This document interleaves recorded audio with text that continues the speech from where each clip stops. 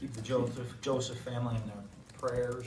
uh, Having to go through that as well as, as our players and everybody in our, in our football family. I know, actually, being asked a question either last week it was or the week before.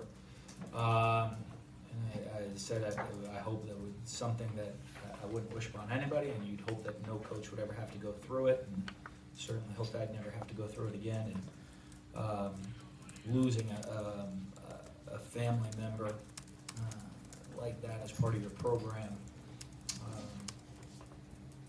There's nothing more devastating ever gonna happen to you as a coach or as a, a, a football team or a program. Um, And, uh, you know, so you just keep everybody in our prayers. Uh, That would be fantastic. Um, You know, about Keith, he was such a, uh, you know, he was a great young man. He gave unbelievable effort in everything he was doing. 4.0 student here at Mississippi State.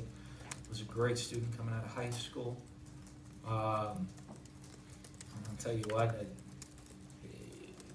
probably our, you know, on the scout team, I've been the scout team player of the week every week. We had to share the award with other people just because it wouldn't have been fair because he was that. He was the guy that uh, gave everything that he had at whatever he, his, he was doing, he gave his absolute best every single day. And, um, you know, um, just a tragedy, tragedy, uh, to lose such a great young man. Um, But, uh, we, we have a game we're gonna play this week, uh, be a, uh, obviously a tough matchup. Um, Playing Alabama, probably the, uh, you know, they don't give me a vote, I, I, they're the best team in America.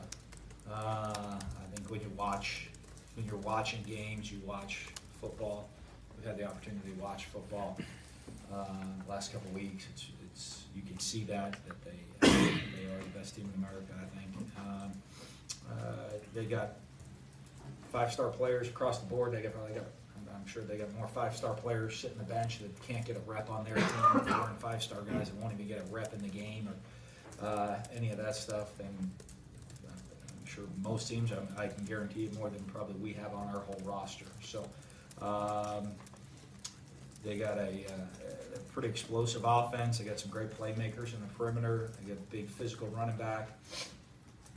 Uh, bringing their second running back, would probably start for almost anybody in America. Uh, quarterback manages to get in the right situation. Uh, all-star offensive lineman. Uh, and then they have the best defense uh, in America to go along with it. Uh, number one rushing defense in the league. Number one total defense.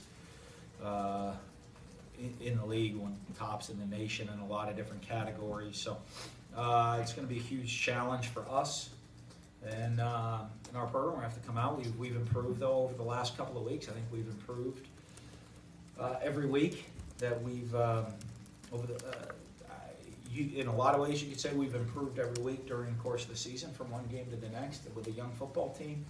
And uh, I know certainly over the last four games, we've seen significant improvement from one week to the next. And we're going to have to take another huge step forward here on Saturday and, and play at an extremely high level, uh, put ourselves in a position to win.